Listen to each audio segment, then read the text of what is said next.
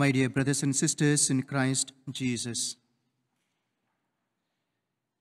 there is an immortal poem written by Englishman Leigh Hunt about a man called Abou Ben Adhem.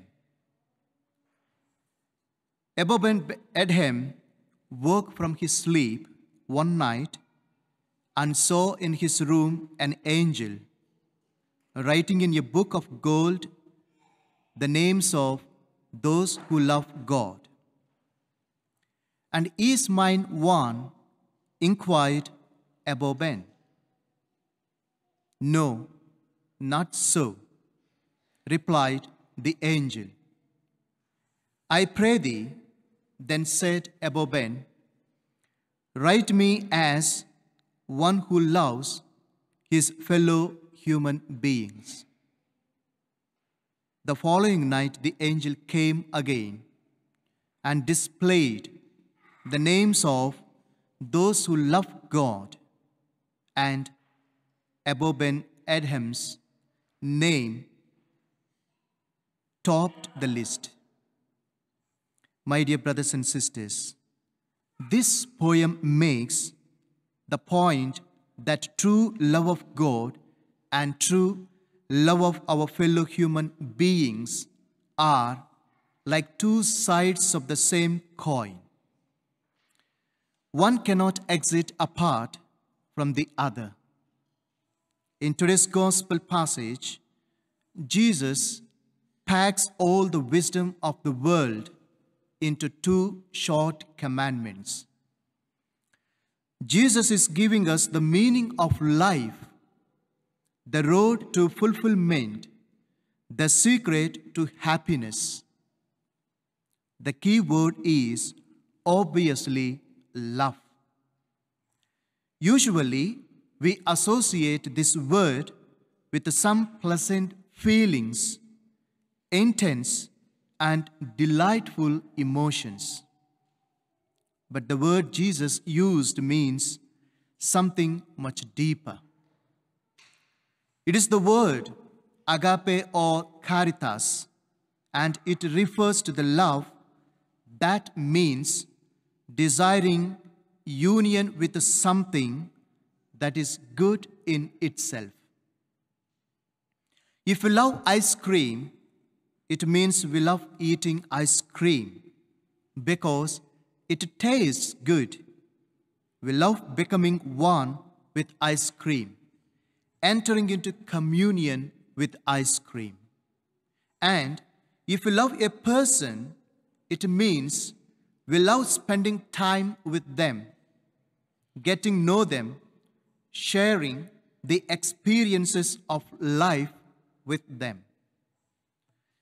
But using the word agape or caritas is not quite enough.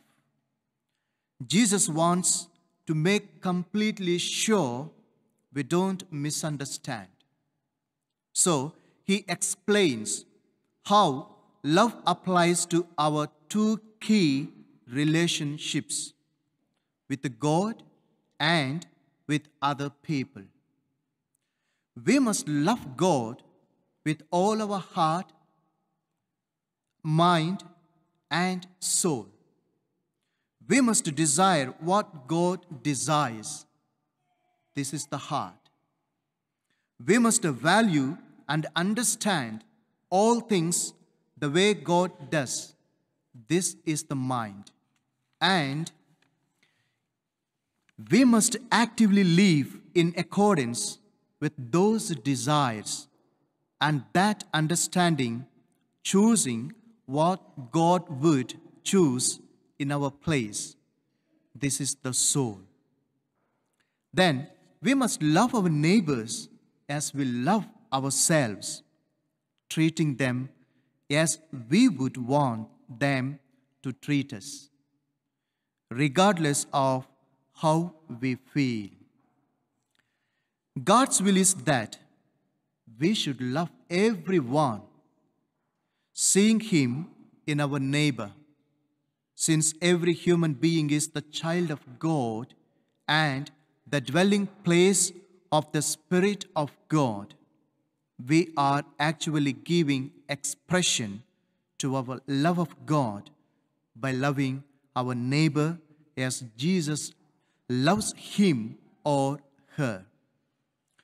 We express our love for our neighbor by waiting upon the aged, nursing the sick, patching up quarrels, and listening to the broken hearted. In short, loving our neighbor is feeding the hungry, sheltering the homeless, meeting the basic needs of the poor, helping the unemployed, educating the young, and taking care of the old. So, this is Christian love, not some passing, self indulgent emotion, but a courageous lifestyle that puts God first, others second, and third, ourselves.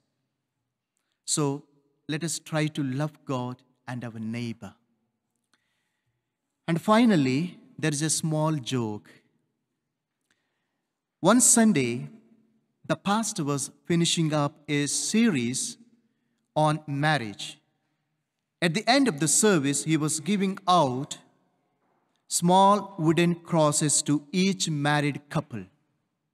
He said, Place this cross in the room in which you fight the most, and you will be remembered of God's commandment of love, and you won't argue as much.